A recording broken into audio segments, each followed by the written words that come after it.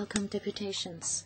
Thank you, individuals and organizations, for coming to the special meeting of the Health Services Panel to express your views on the regulation of medical beauty treatments and procedures. I'd like to remind you that your views and also your submissions will not be covered and exempted by the Legislative Council Powers and Privileges Ordinance. In other words, you will have to, to take legal responsibility for whatever you say here and also for the views expressed in your submissions. Let us say that Channel 0 is floor, Channel 1 is Cantonese, Channel 2 is English interpretation. You will have three minutes each. Please try to be concise and precise. If you have more views to express, please do so in a written form. Now we can start the second session.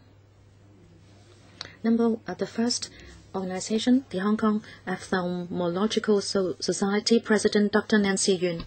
Uh, 各位 panel Thank you, Chairman and members. English because uh, we have prepared English. Uh, thank you very much for the invitation.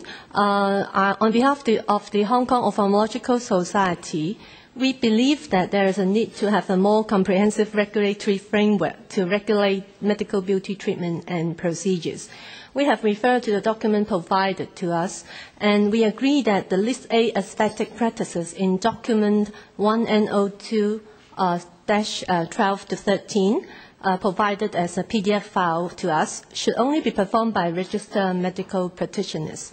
And the procedure in List A aesthetic practices should be considered as medical procedures. Uh, for those in the non-invasive list, uh, it would be uh, very important if it's near the eye region, it has to be done by medical practitioners. And besides all the medical procedures, including beauty treatment, procedures involving the use of Class 3B or Class 4 lasers should only be performed by registered medical practitioners because these are the laser which have high energy that can have uh, injury to the eye if directly applied to the eye. And uh, for the regulatory and disciplinary powers for the medical professions, uh, we agree that it should be done by the Medical Council of Hong Kong, and therefore the medical beauty treatment and procedures should be under the governance of the Medical Council of Hong Kong. All along, the training of ophthalmologists involved management of ocular and periocular conditions, and ophthalmologists have been performing some of the non-invasive minimally invasive and invasive procedures in the List A aesthetic practices in the document provided. And we feel that we should have representatives in the relevant working groups related to our practice in the future. So this uh, uh, include all the comment from the Hong Kong Ophthalmological Society. Okay, you. Next, uh, the College of Ophthalmologists of Hong Kong, Dr. Hunter Yun. Actually, the views of the college uh, are very similar to the society, and uh, that is what Dr. Nancy Yuen just now. We have the same views. We don't have any new points to add. Thank you. We have already given you a submission. Next one. From the VTC, Beauty Care and Hairdressing Training Board of Vocational Training Council, Mr. Jackie Choi. Thank you, Chairman, members, and industry representatives. I am the chairman of the Beauty Care and Hairdressing Training Board of the VTC. I'm Jackie Choi. I'd like to thank the Health Services panel for the invitation, and I'm attending the meeting on behalf of that training board. In this incident, the training board agrees that we should regulate the use of medical procedures, that we should have a safety code. We also are of the view that the operators of such equipment should be provided with um, quality and professional training. And I'd like to give you more details. Just now I have heard from the first session many views, and I understand members would like to know more about uh, beauty training. The VTC has always provided different kinds of skill tests and professional competency assessment for different industries, including the beauty industry. In 2007, we have already started the competency test for operators of IPL. intense pulsed light. And it stipulates that these people, when they sit the test, must have already got a definite number of hours in the industry that they should have the experience before they can apply for sitting the test. They must have professional beauty knowledge and also they must understand uh, something about the use of light. And we understand that the test has been conducted rather well in the past few years, and we have not seen any particular incidents resulting from the use of such procedures. The industry has followed the proposals of the administration, and they have been forthcoming in enhancing their professional skills. In recent years, the beauty industry has been progressing fast. In order to encourage the industry to progress with the times, the VTC has acted in accordance with the qualification framework managed by the Education Bureau. We have been helping to set the standards. We hope we can uh, promote a scoring system to promote continuing professional education and development. We hope that beauty industry workers can undergo um, in-service training in order to enhance their competency. I have worked in the beauty industry for over 30 years. we are of the view that in the past 20 years, the beauty industry has been very conscientious in undertaking self-enhancement. And we can see that the public and also the council here have spoken out about the beauty industry.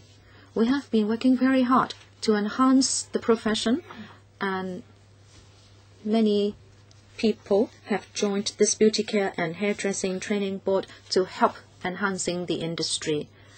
And we can see that we have been very successful. I hope that from now on, the beauty industry can continue to make use of equipment and we hope that the medical incident this time around will not stifle the development of the beauty industry. Thank you very much. Next,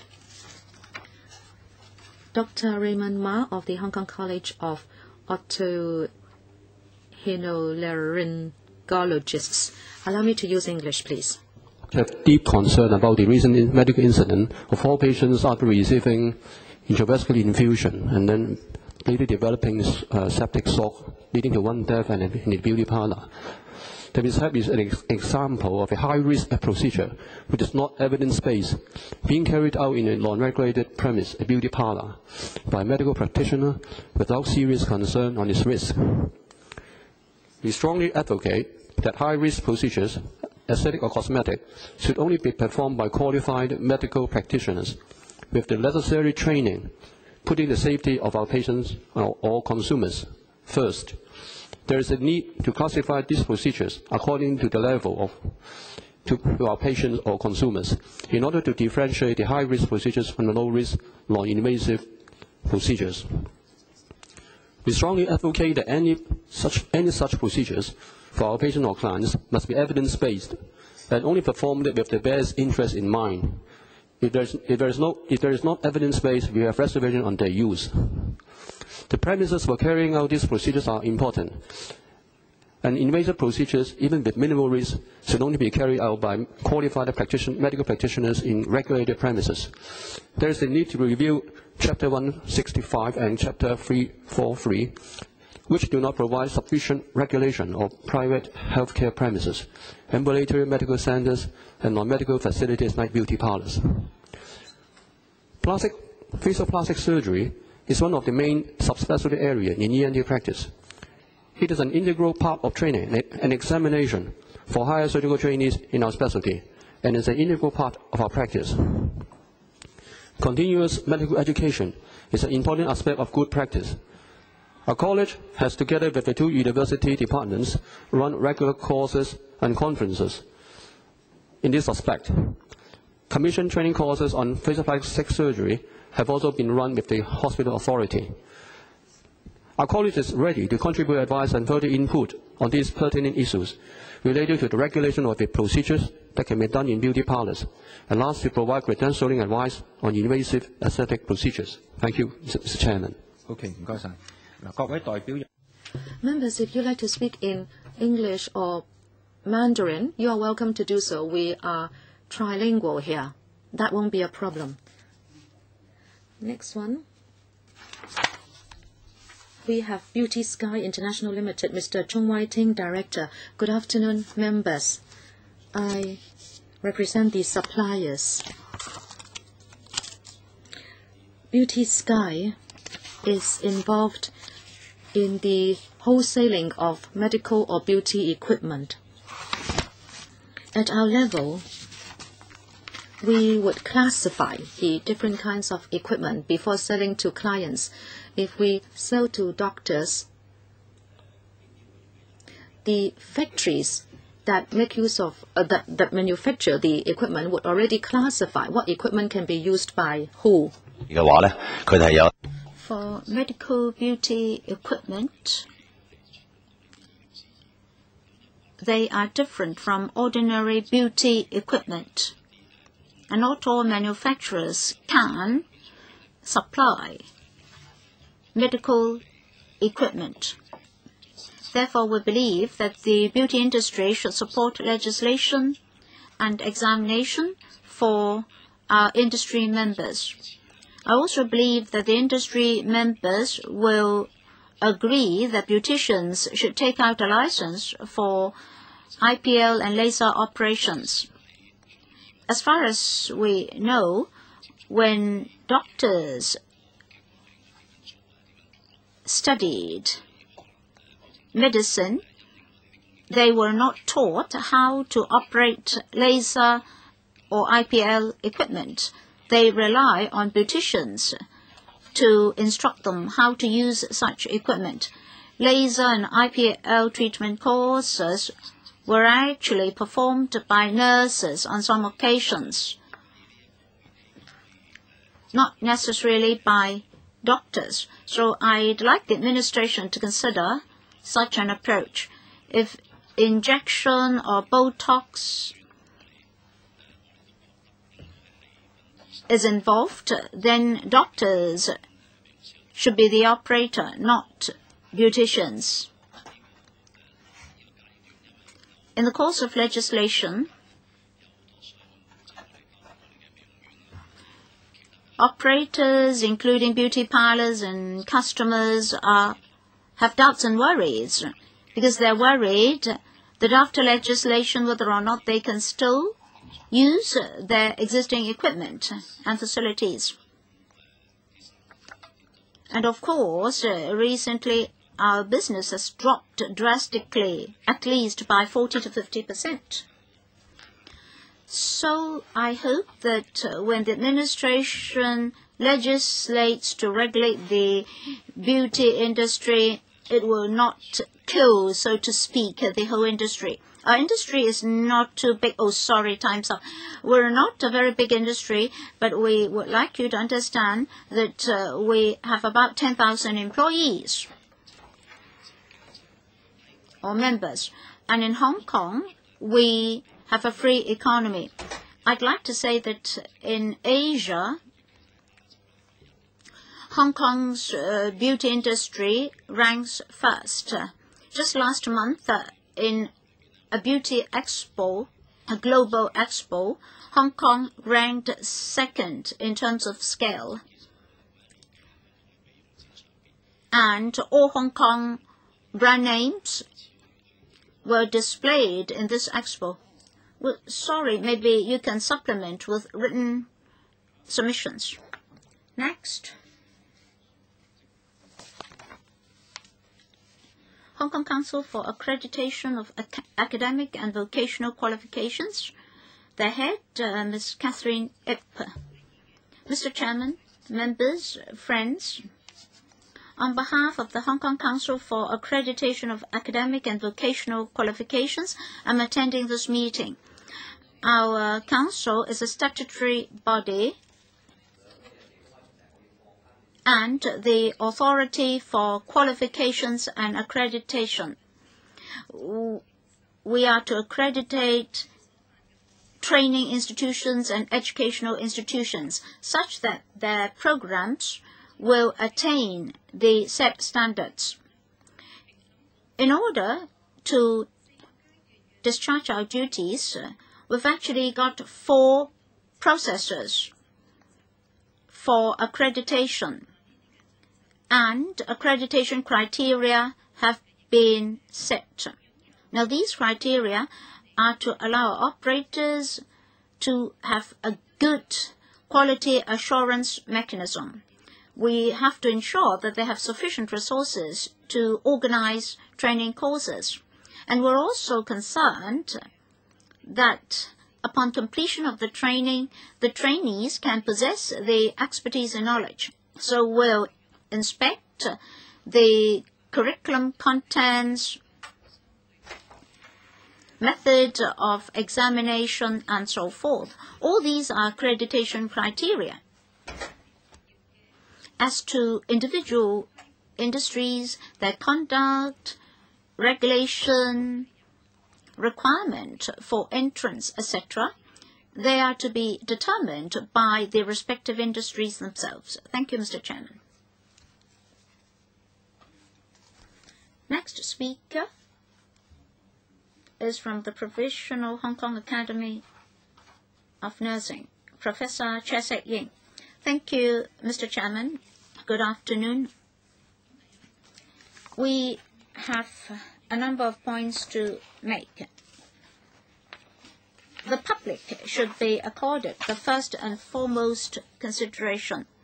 We have to define high risk and non high risk operations. For high risk uh, procedures, we don't support a broad brush approach. That is, we don't really, really require registered and qualified personnel for each and every act.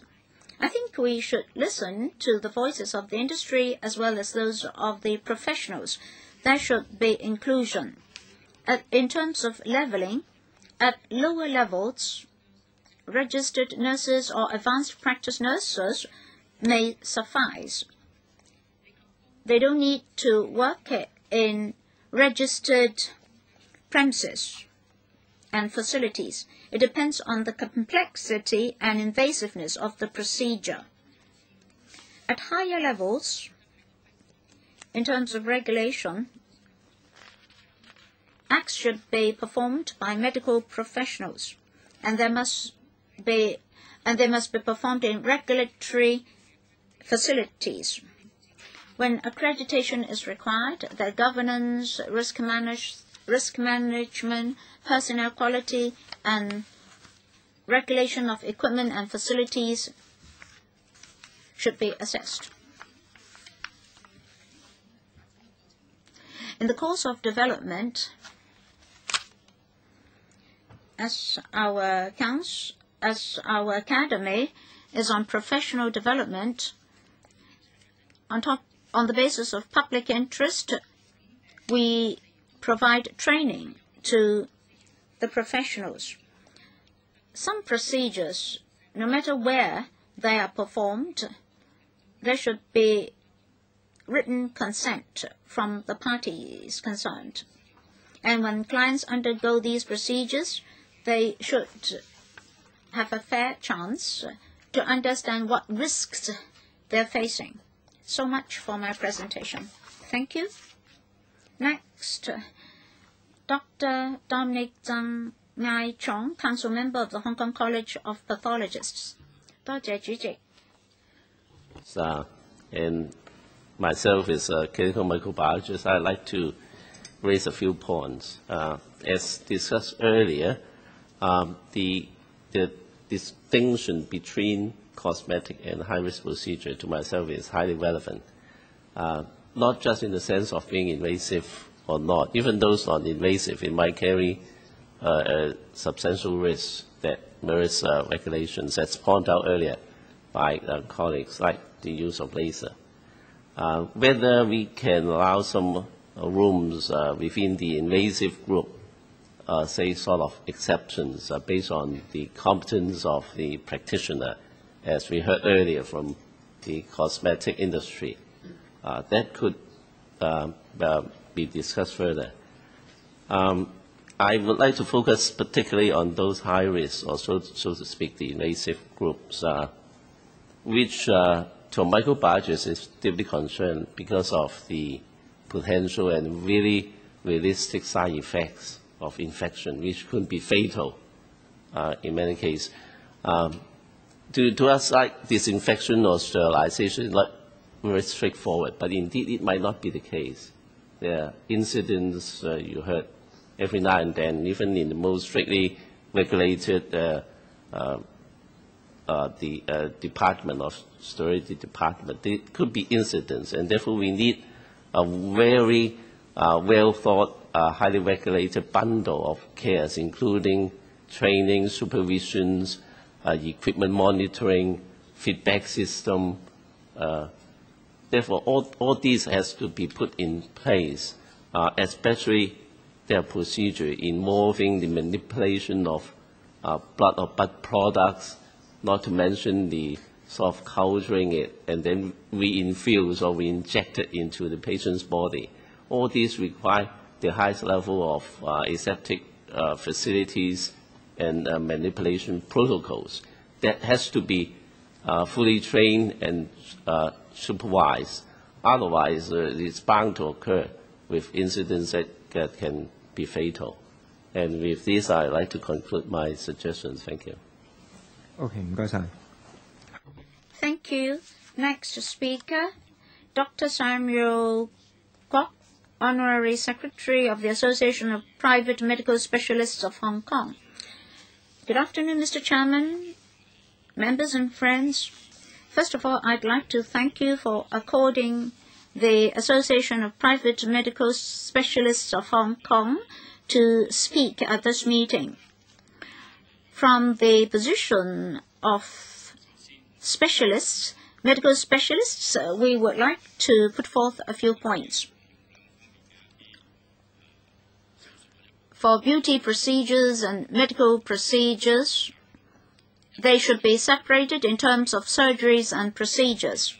We have to understand what surgeries or services come under which profession. As for the method of differentiation, it really depends on whether it's invasive for the patient. Anything that is invasive and will create a wound on the patient should be regulated, including Botox injection, IPL injection, blood um, extraction or blood injection, and so forth. The only procedure for the beauty industry to perform may be skin peeling. And some procedures may go deep into the skin and may be highly invasive. Those should be regulated and performed by medical professionals. If uh, general anesthetics or partial anesthetics are to be performed, it should be for the medical profession. And within the medical profession, we have uh, different specialties. So the Academy of Medicine may have to promulgate guidelines for the observance of the medical profession. As for facilities and premises, as we're talking about equipment which are ever advancing, we have to address that concern.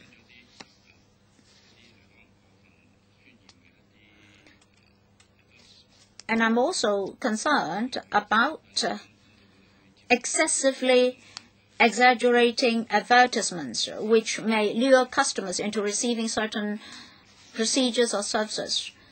So guidelines have to be published to regulate advertisements. And informed consent must be obtained for any act to be performed by a doctor the patient has the right to know which doctor is performing what on him. Next, Next, with Dr. Peter Pang from the Hong Kong Private Hospitals Association. At Hospital Association, I'd like to make the following points. Our aim is to safeguard the health and safety of general public. We need to define clearly what are the medical treatments and what are the beauty treatments. For medical treatments, in bracket plastic, we'd like to take reference of what we use in Singapore.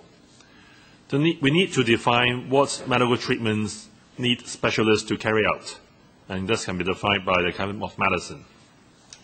We need to define what medical treatments can be carried out by non-specialists who already receive training and accreditations. For new treatments and new equipments and tests, they should be registered and be regulated. We need to regulate also the premises, the place where we carry out the aesthetic medical treatment. And these are the points we'd like to make. Thank you, Chairman. 唔该晒。下一位发言嘅系 Thank you. 整形外科理事会主席张永荣医生。 Uh, Thank you, Chairman and ladies and gentlemen. I think the calls for stronger regulation of cosmetic medical practice in Hong Kong are loud and clear. I s- propose to set up the guidelines on cosmetic and aesthetic practices for aestheticians and doctors in Hong Kong and divide into cosmetic practices and aesthetic practices.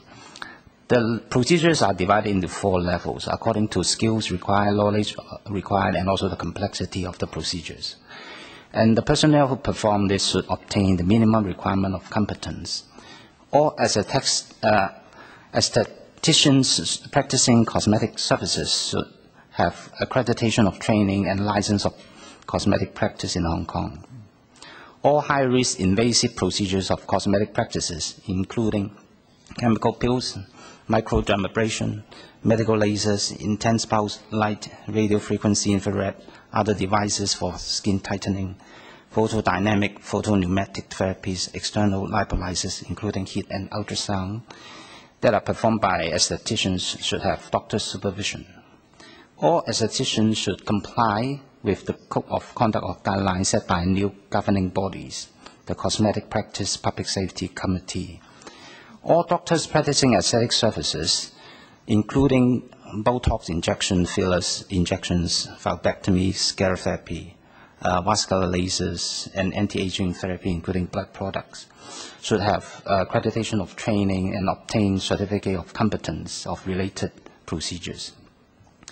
All doctors practicing aesthetic services should comply with the guidelines and set up by um, a new uh, governing bodies like the Singapore uh, Aesthetic Practice Oversight Committee. All high-risk procedures of aesthetic pra- practices should be performed by specialists who have obtained certificate of competence or have related specialist registration. Any aestheticians or doctors who perform any cosmetic or aesthetic procedures that is not in accordance with the guidelines set by these governing the bodies will be deemed as unethical to the profession, and such an esthetician or doctor may be liable for disciplinary action by the governing bodies or medical council. Oh, thank you. Thank you very much. Next, uh, Ms. Mary Catherine Chang of the Pharmaceutical Society of Hong Kong. Chairman and members, recently a client received um, intravascular infusion by a doctor and she died, and uh, we'd like to forward the following views. The administration should regulate um, any procedures with regard to the storage condition of human tissue and blood, and it is just like the uh, storage of umbilical blood in order to make sure that these procedures are safe. All these operators which make use of such storage procedures should be subject of the application of licenses, and the relevant authority should assess the qualification of the operator, the licensee, and also the premises, and whether all these are suitable. The collection and uh, storage activities should be conducted in appropriate um, premises and only to be undertaken by those who have received training. We can learn from the UK, the um, Eurozone, and also the US. Basically, a government body will issue licenses and also conduct um, inspections. Secondly, we should regulate uh, doctors' clinics and also beauty centers. The doctors should tell the uh, Department of Health what kind of premises they operate, including beauty parlors that they operate. And government officials should conduct regular inspection at these premises to make sure that the use and procurement and also storage of medicine uh, are done according to the law. And also, it should be ensured that the distribution of medicine is done in such a way that it is uh, protecting the health of the public and also the workers involved in order to protect the interests of consumers, only those who have received professional training in that particular area should be allowed to undertake uh, high-risk aesthetic procedures. The administration should also require beauty parlors which uh, are involved in medium risk or high risk procedures to apply for a license and the Department of Health should also inspect these premises to make sure that they comply with the law. Number three, advertisements. I think the law should be uh, changed. At present, the Undesirable Medical Advertisements Ordinance um, stipulates that if uh, advertisements are taken out according to the schedule, uh, that would be banned. However, I think there should be some change to the law according with the present time so that there will be effective protection of public health. The most important thing is advertisement statements should be evidence-based to protect consumers, false representations by uh, beauty parlors, say for example slimming uh, procedures, etc., those should be regulated as well. Thank you. Next, uh, Professor Joseph Lau, Chairman of the Medical Council of Hong Kong. There is a slogan at the uh, Medical Council, and that is we have to uh, stick to the professional standards of our profession to protect the public. Uh, it is a very impressive slogan, but we have a narrow scope of jurisdiction. We only regulate Western medical practitioners, and we do not have power to overlook the uh, health management organizations or private hospitals or even public hospitals. The DR incident has told us that unregulated medical procedures can do a lot of harm to the public. So as chairman of the Medical Council of Hong Kong, I'm of the view that the Hong Kong society should seriously consider stepping up the legislation of the following points, which I think are important. Some of the um, items have been covered by previous speakers, and I won't go into the detail. First of all, I think there should be laws made to stipulate what are medical procedures or what are beauty procedures. There must be a very clear delineation between the two. In terms of invasive uh, behavior or, or procedure, if you say that is how medical procedures can be defined, I think that is simplistic. Say, for example, acupuncture or removing a pimple with a needle or making use of a needle to uh, for tattooing, those are not medical procedures. But then there are non-invasive procedures like the use of laser. In fact, laser can be very invasive. So I hope members, you can give this very clear consideration in order to put a definition on medical procedures. And also, I think different medical procedures would represent different kinds of um, invasion. Some must be undertaken by registered doctors and some even by specialist doctors there should be different degrees of regulation for different degrees of risk. Number three, I would say that whatever is injected into the human body should be regulated seriously. Say, for example, the collection of cells, uh, storage and culture of cells, and also the, make, the use of blood products. I'm very concerned about umbilical blood and also stem cells, etc. Those have uh, not been medically tested to be useful. Number four, the DR incident shows clearly that if a conglomerate uh, investor is not a doctor, but he engages a few doctors to undertake procedures, the law actually can do very little about this uh, main operator of the um, health organization, and we can only penalize the doctors. Last but not least, advertisements. four aspects uh, because that has not been really mentioned by other speakers. Number one, private uh, organizations and undesirable advertisements. If they are not medically based, if they are just exaggerated in terms of the efficacy of the procedures, those should be seriously regulated. Number two, private hospitals. They may have a self-constraint, uh, self-restraint, but then sometimes they are also exaggerated. Number three, overseas medical organizations. They can disseminate messages on uh, TV in Hong Kong, uh, just like the dental procedures uh, that are available on the mainland. And last but not least, private doctors. They are now involved in uh, equipment advertisement and also baby formula advertisement. In fact, there was this case, Kwong Kwok Hay and Medical Council. The court has said that we should balance freedom of speech with regulation. Now, I think the law should be amended. Uh, this is for members' consideration. Thank you. Thank you. Next.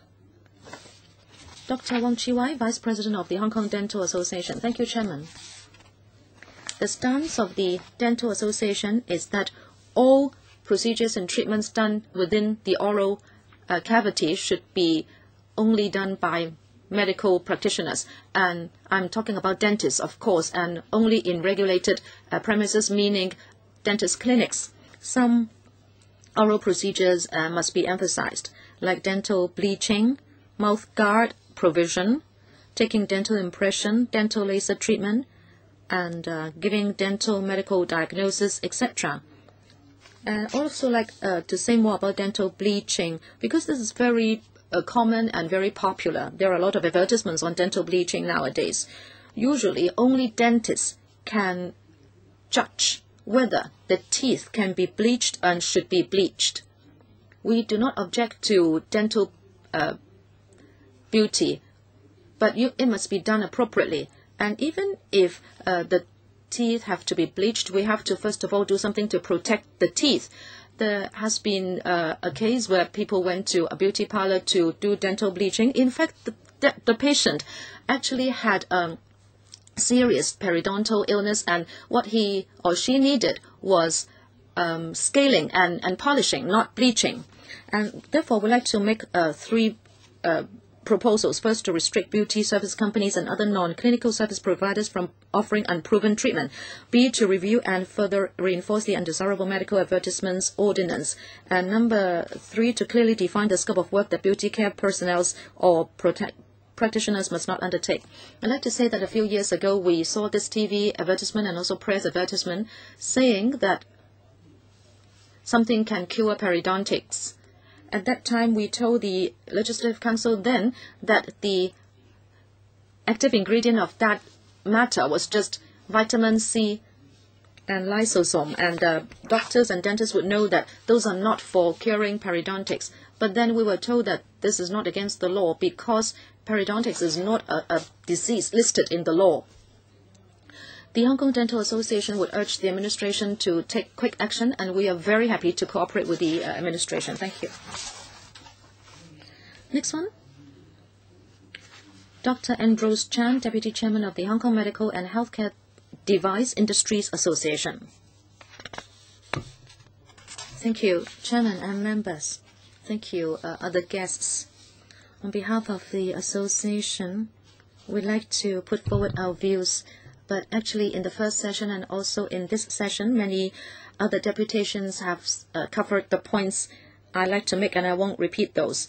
And you can refer to our submissions. And I would just like to say something that has not been mentioned.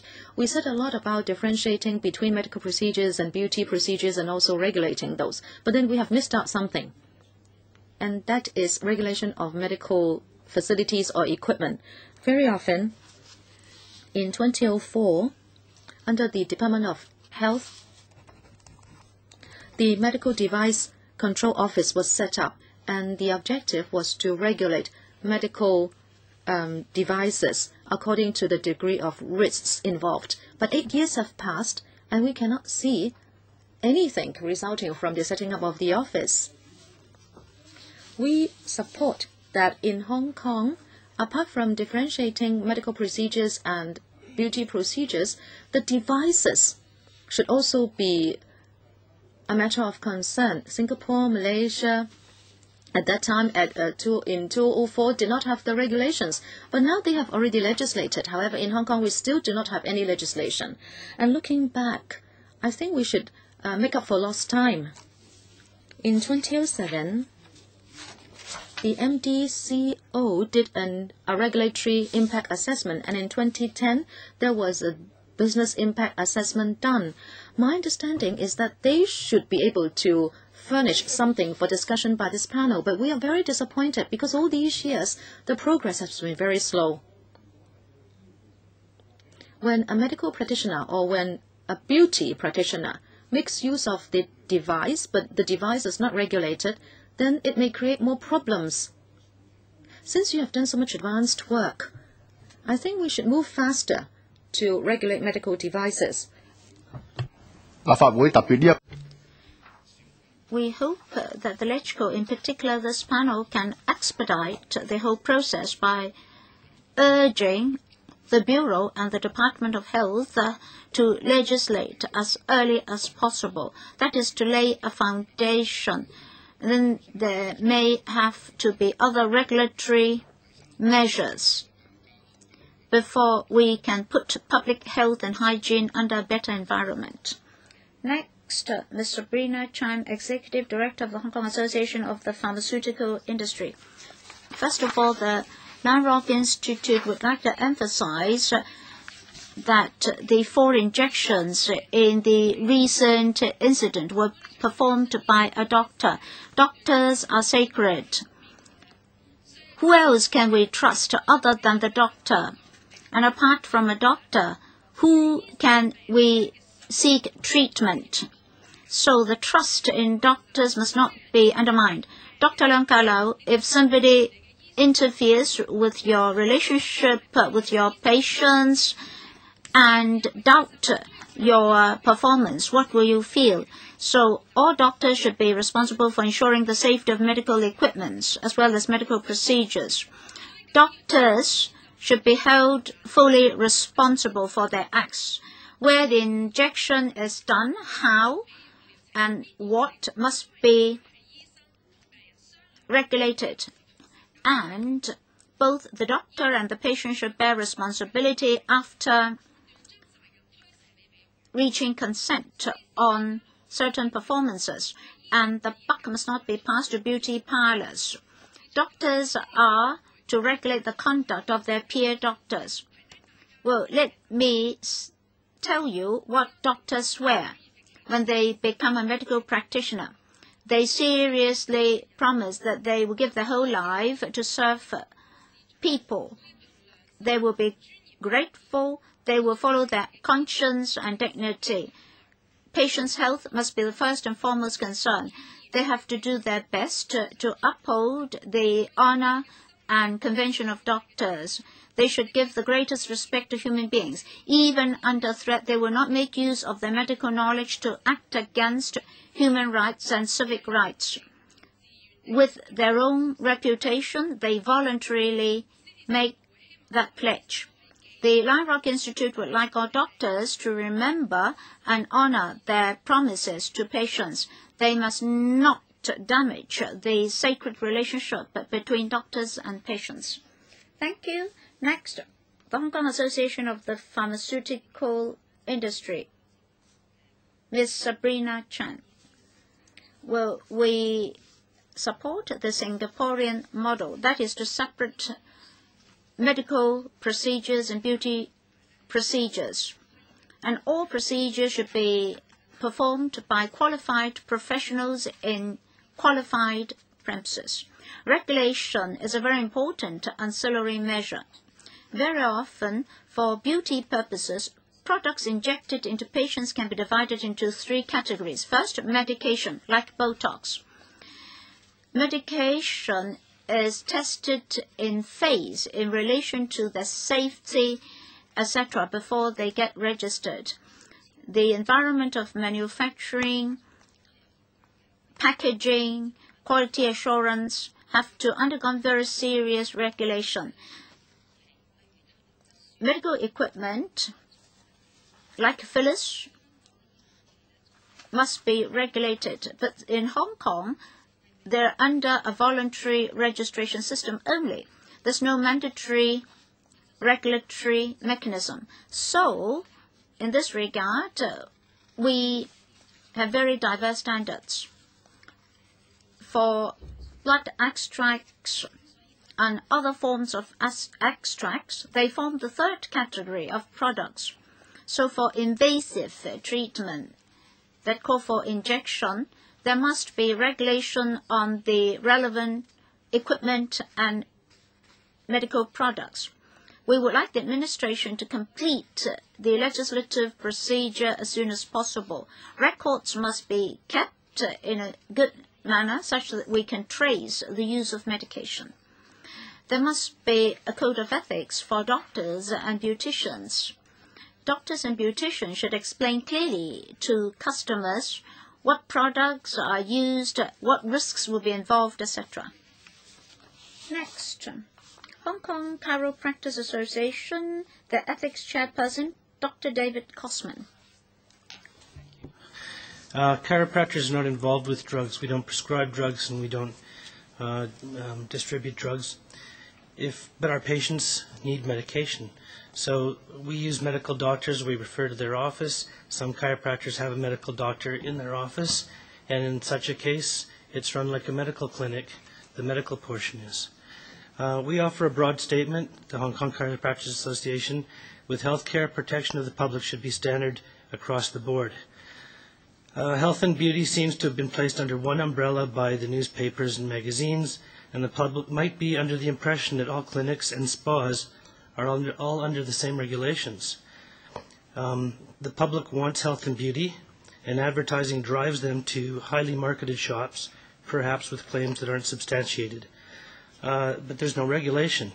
Chiropractic is regulated, and the regulated clinics, which are not allowed to advertise, such as chiropractic clinics and medical clinics, have less exposure, so the public goes to where the exposure is, but they're not protected.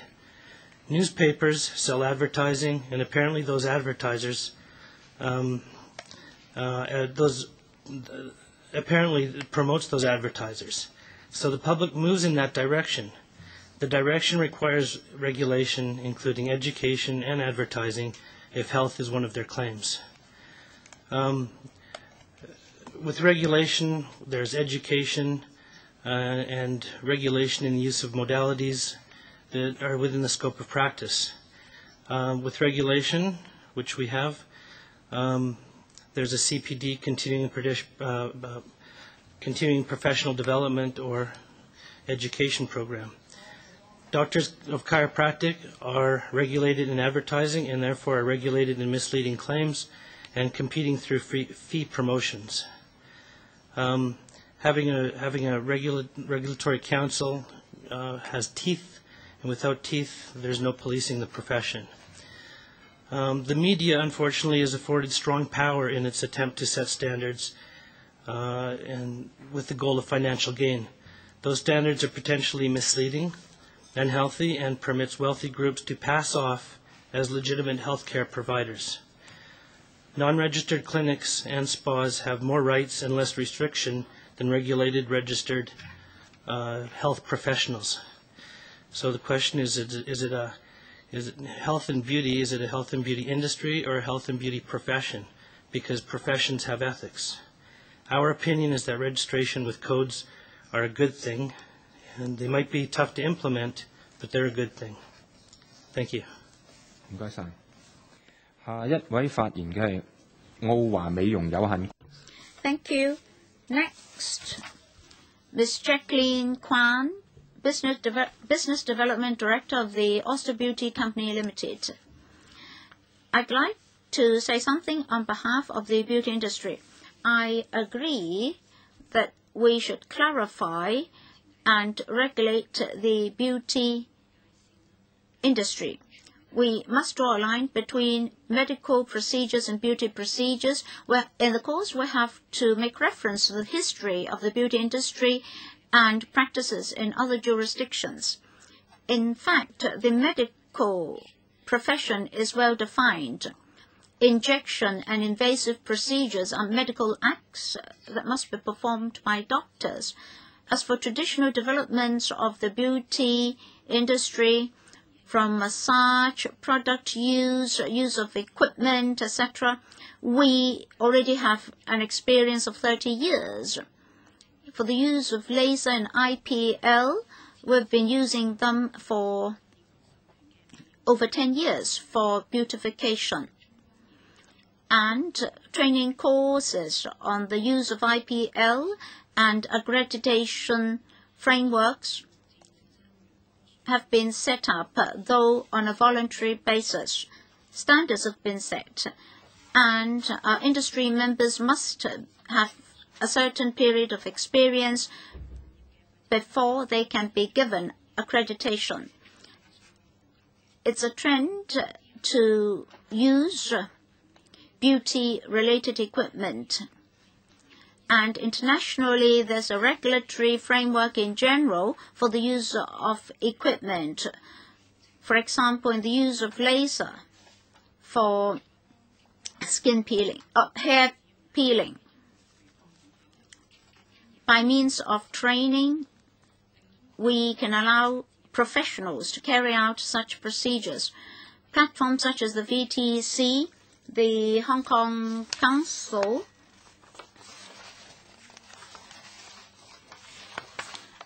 for accreditation of academic and vocational qualifications are some examples. And there must be annual accreditation programs to ensure the standard of our professionals. And the regulatory framework must be formulated with the development of the industry in mind. Next, the Federation of Medical Societies of Hong Kong, Dr. Ying Shunyun. The DR incident is not a purely medical incident or purely beauty incident. It's actually a natural development of our society. Many doctors and beauty parlors conduct beauty procedures. Just now somebody said that Hong Kong is the second largest market in this regard in Hong Kong, and with over 200,000 industry members. Our industry may have an impact on the 7 million people of Hong Kong.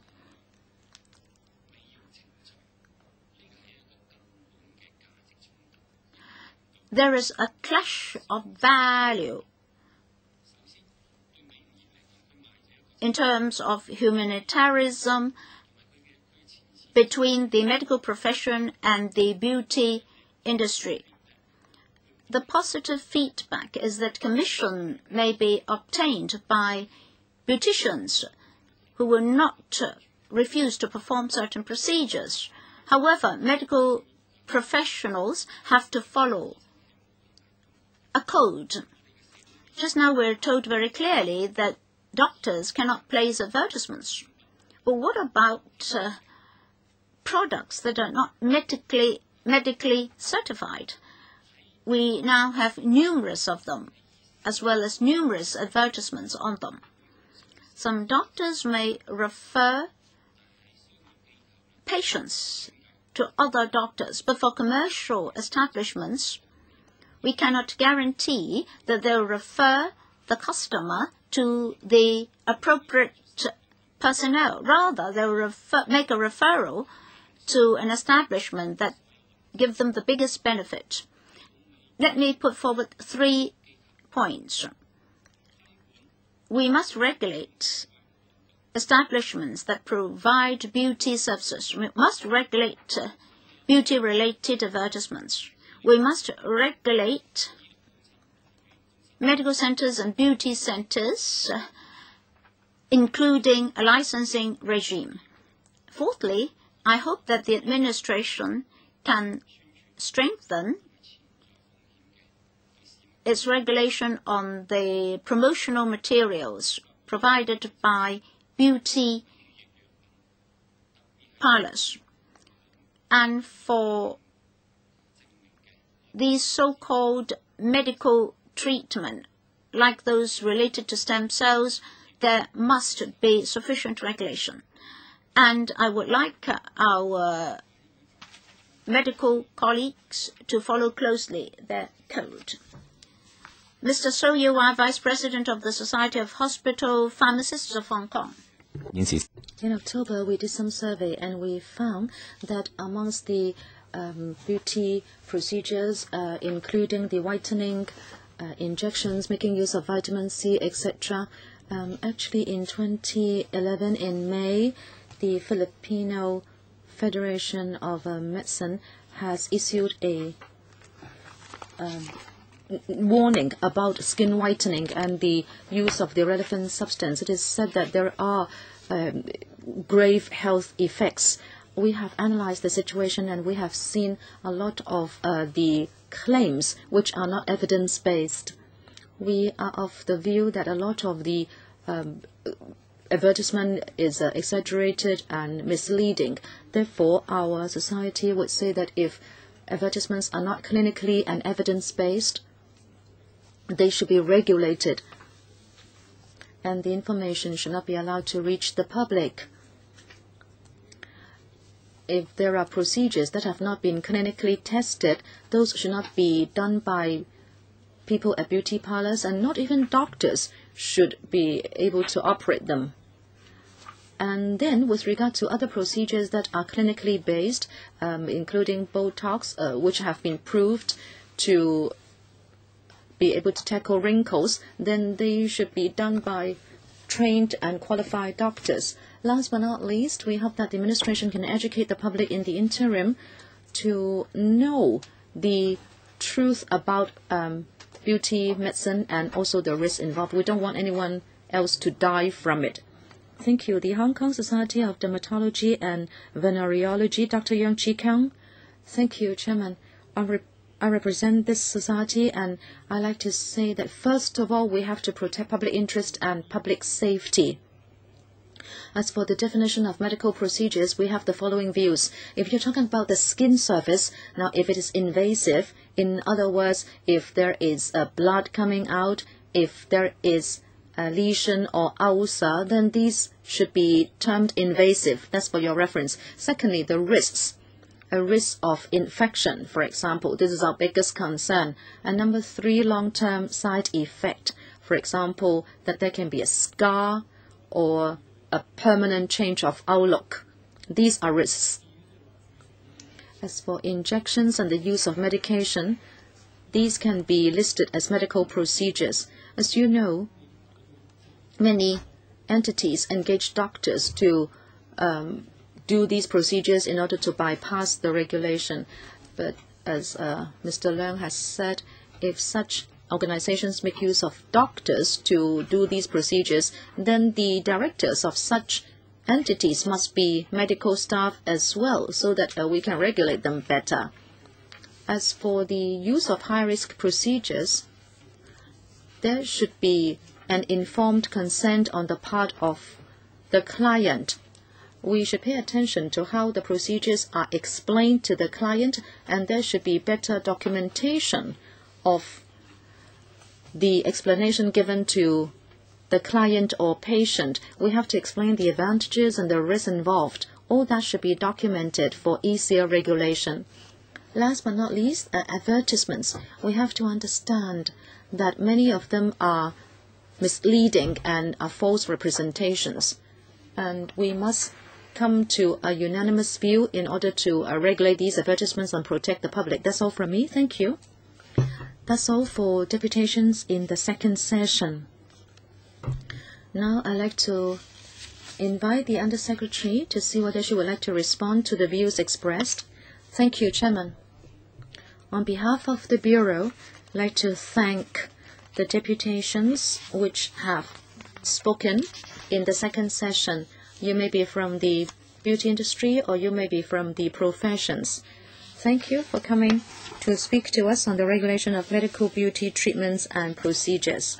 Thank you for your views on a possible framework of regulation. We have heard you. Let me try to separate your views into different categories. Just like in session one, many deputations are of the view that we should differentiate between med medical and beauty procedures. And this is because there are risks involved. And also, these procedures can be invasive. Actually, in one of the task forces under the steering committee, we are going to discuss this. Because if the definition is not done right, the public can be harmed, and as you said, infection could result from invasive procedures and the uh, public safety can be undermined. Secondly, I have heard you talk about people. In other words, who should be allowed to do what? Should it be doctors, nursing staff, or beauticians? And I have also heard a lot of voices from the beauty industry saying that actually within the industry, there is this qualification framework and uh, practitioners are required to reach a certain level. And also you have talked about ethical standards. Number three, you have mentioned medical equipment, premises, and medication. And uh, I heard you say that these should be regulated. And number four, advertisements. If the advertisements are undesirable advertisements or if there are claims made, many deputations have said that these should be appropriately regulated. Since we have the Deputy Secretary of Commerce and Economic Development, maybe I can defer to her uh, to tell you about uh, how the law is evolving. Thank you. Some deputations have mentioned the uh, Trade Descriptions Ordinance, and it is said that some advertisements could be false or misleading. Actually, just in the last session of LegCo, we amended the Trade Descriptions Ordinance. The amended ordinance has not been given effect, but we hope it will come into operation in 2013. The ordinance covers uh, a, a whole spectrum of industries, and the amendments have created a few more penalties, including what you mentioned, and that is false advertisement or false trade description. And that is whether it be commodities or services. If the description is false or misleading to a crucial extent uh, that is against the law. And also if uh, material information is omitted so that consumers would make a different choice, then uh, that is against the law as well. I hope that we can implement the amended ordinance as soon as possible then the Customs and Excise Department will be able to enforce it. Together with the Department of Health, the C&ED can review the beauty industry and other industries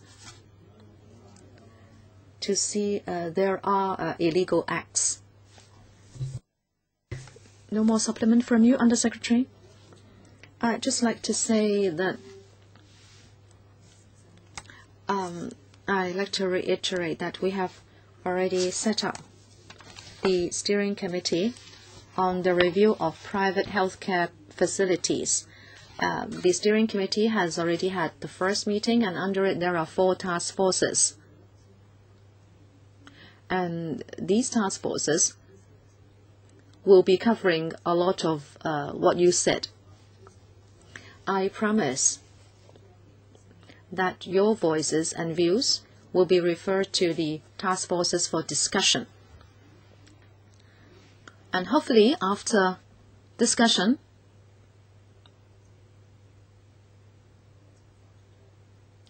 we can report back to you.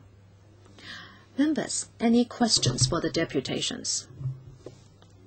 Or would you like to take up any point with the administration? Dr. Joseph Lee. Thank you, Chairman.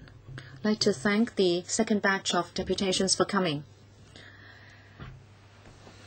I heard you say that, um, well, actually, you are a little different from the first session deputations. You said that in certain premises, some medical beauty procedures can be done, but it is said that there is no regulation.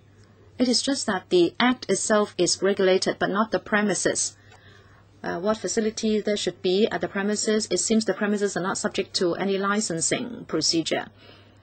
And also, talking about high risk and invasive acts, now I don't know, but uh, I'd like to ask the beauty industry do you ask your clients to sign a consent form? Say, for example, you explain to them that this time around you are going to receive Botox injection and your face may be swollen, uh, things like that. Do you ask them to sign a consent form first? Whether you're a doctor or a beautician, if you're involved in medical beauty procedures, uh, first of all, I'd like to know whether your premises are regulated. And secondly, do you ask people to sign a consent form? And then I have a question for the administration. I don't know what answers it can give us.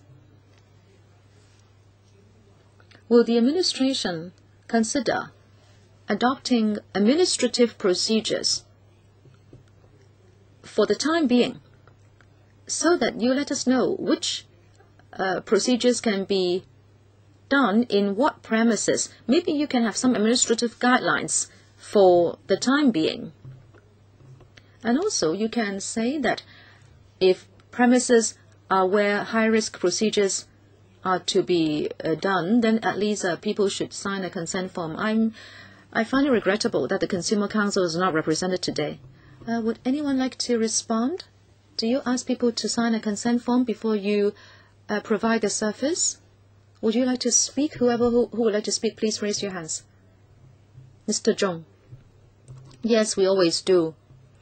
Many beauty parlors, if uh, they are larger in scale, always ask their clients to sign a consent form. If laser or intense pulsed light and also filler Botox injections are involved, we always ask clients to sign consent forms. What about premises? I think it should be a question for the administration. From what I know, there is absolutely no regulation whatsoever. Can you adopt administrative uh, procedures? Thank you. Dr. Lee. Would there be guidelines for premises? Well, this is exactly one of the points to be discussed by the task forces.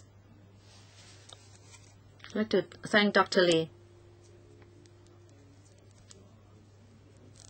we hope that something can be done. And also, I'd like to say that at this stage, the Department of Health has already stepped up control. We have a representative from the Department of Health. Dr. Lee, can you say something? As at the 26th of November, we have inspected over a thousand advertisements covering different beauty procedures.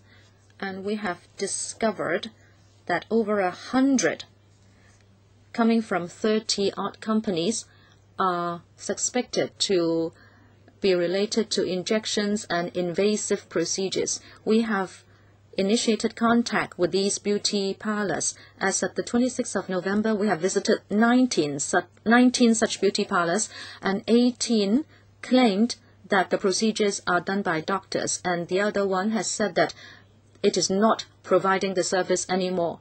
And as at present, we have not seen any non-compliance.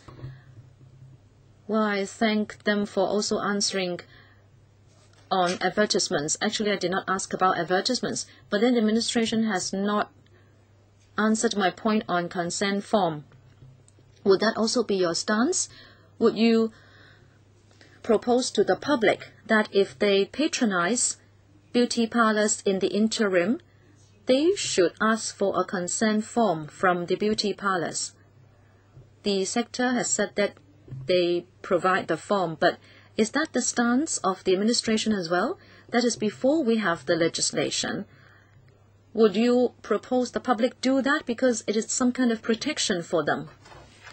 Uh, at least uh, there is some trace Well, at present, if procedures are done by doctors, then actually within the professional code of ethics of doctors, if they are involved in um, procedures of any degree of risk, a consent form should be signed by the client or patient, but we can relate the view back to the task forces for further consideration.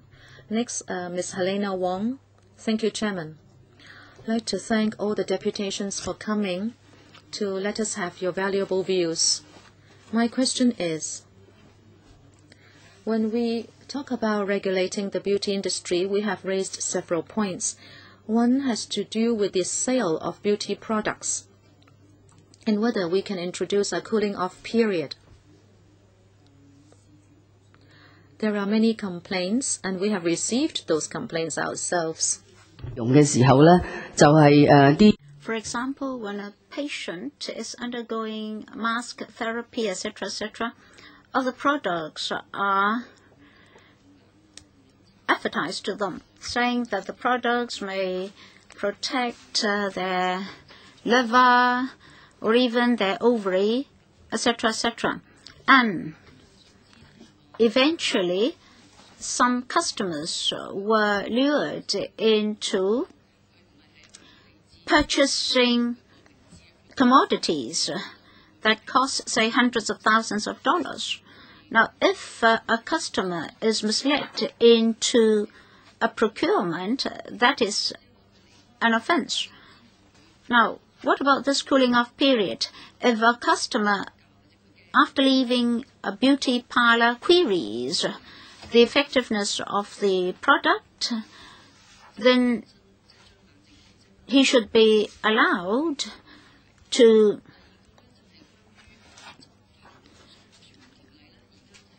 refuse to buy the products. Now we're talking about beauty services. Now this piece of legislation is to be applied to beauty services. If we only rely on the Customs and Excise Department for law enforcement, it won't be very effective. Just now it's said that the Department of Health should interfere. So what role does the Department of Health has in the whole process? And how can we specifically implement the legislation and will the guidelines be published? Can consumer interests be safeguarded? And then I have a question for the industry. For the registration regime for beauty equipment. Now, I asked this question before. I'd like to listen to the views of the deputations. Uh, be they doctors or, or members of the beauty industry. Any response uh, about the cooling off uh, period? That is for the registration. And what about registration of medical equipment? Please raise your hand if you'd like to respond.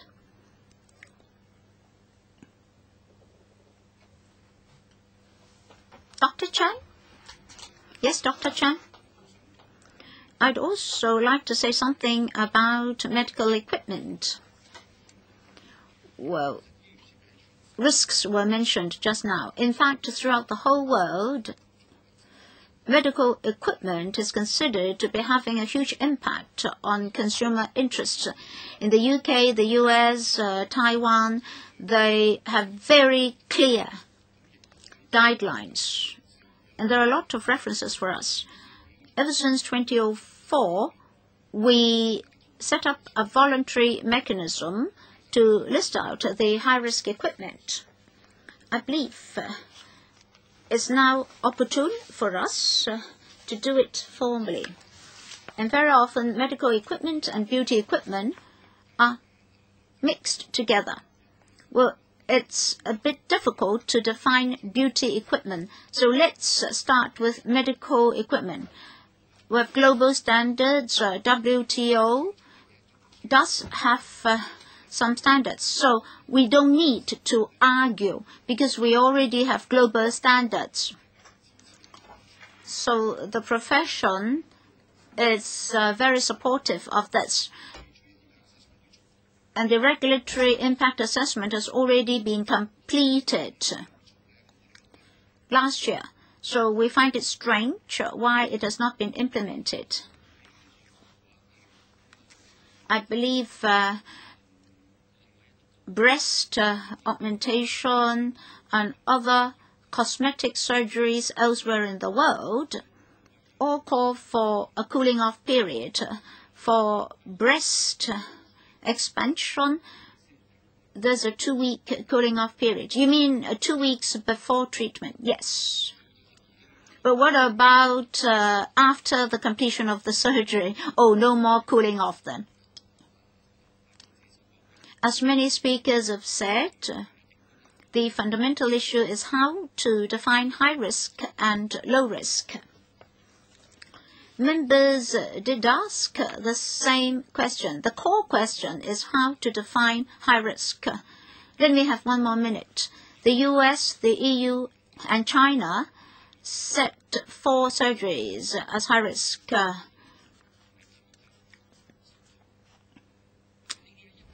tummy cut, fat extraction, skin erosion, and breast expansion. And these have to be performed in clinics uh, with general or partial anesthetics. So elsewhere in the world, this is already done. Well, let me supplement on Dr. Chan. Our association and Dr. Chan's association did talk to the administration about the legislations. Well, throughout the whole world, uh, they are regulating medical equipment. Hong Kong is lagging behind in this regard. Our focus has been on laser equipment. But in fact, fillers, for nose boosting, etc., actually belong to the category of medical equipment. Some eye drops are also medical equipment. Parallel goods and low quality goods can be found in the market, but it's difficult to trace them. So we very much agree that uh, the legislation on medical treatment should be implemented earlier.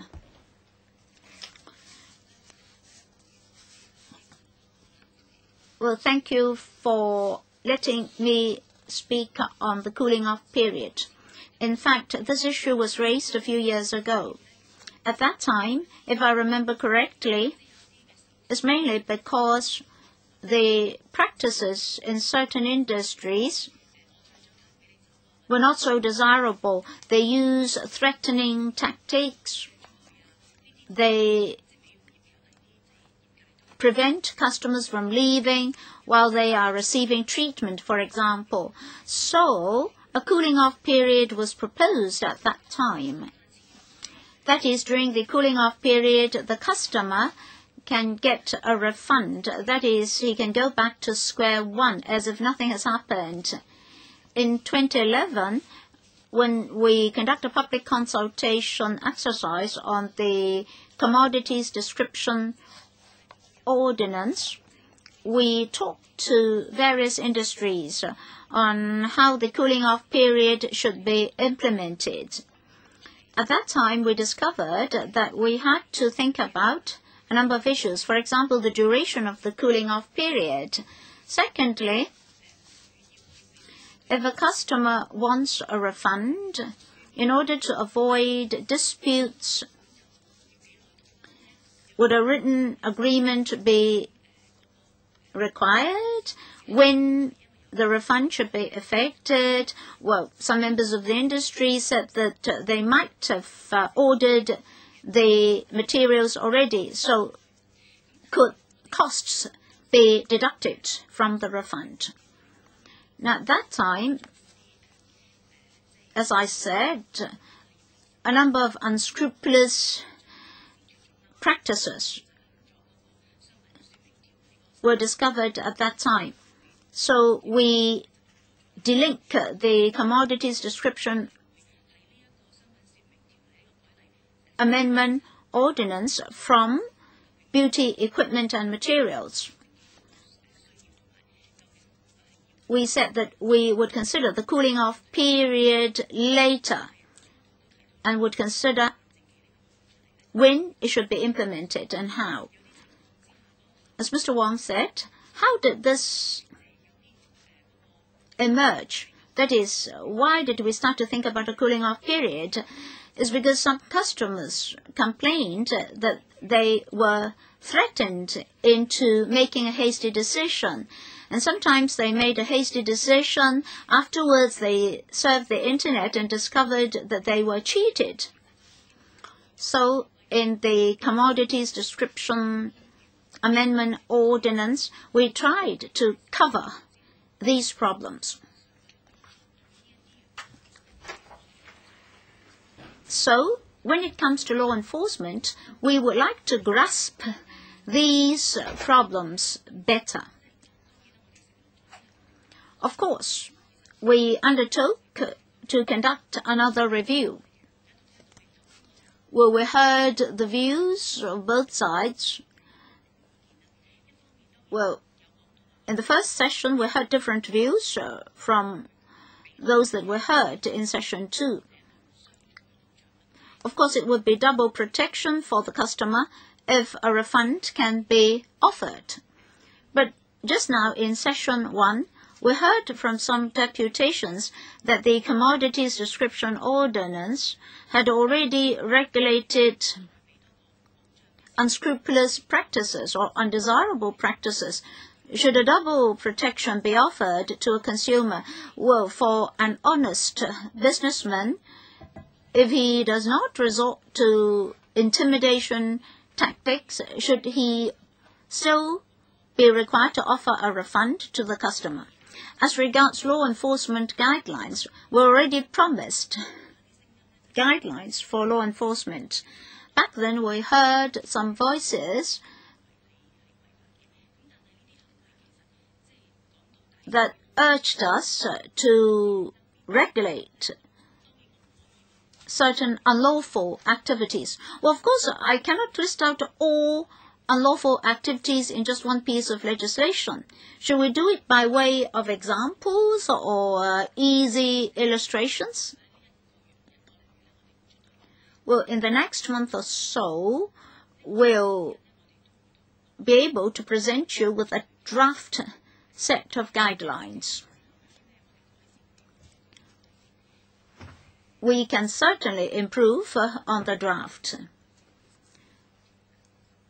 and we hope to implement the legislation next year. Talking about actual law enforcement, the main law enforcement agency will be the Customs and Excise Department. Well, the piece of legislation in question is simply about unscrupulous descriptions for example, whether a certain product is a cow's ligament or a deer's ligament, it may be different to tell. The service industry has to be covered as well. Some other industries have also to be covered. We'll cooperate with the Telecommunications Authority. Well, just now, some members and deputations mentioned misleading advertisements.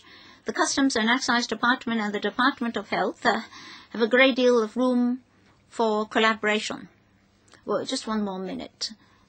I would like to ask Dr. Young a question. What about diagnosis before IPL application. How are you going to differentiate uh, the different kinds of dark spots?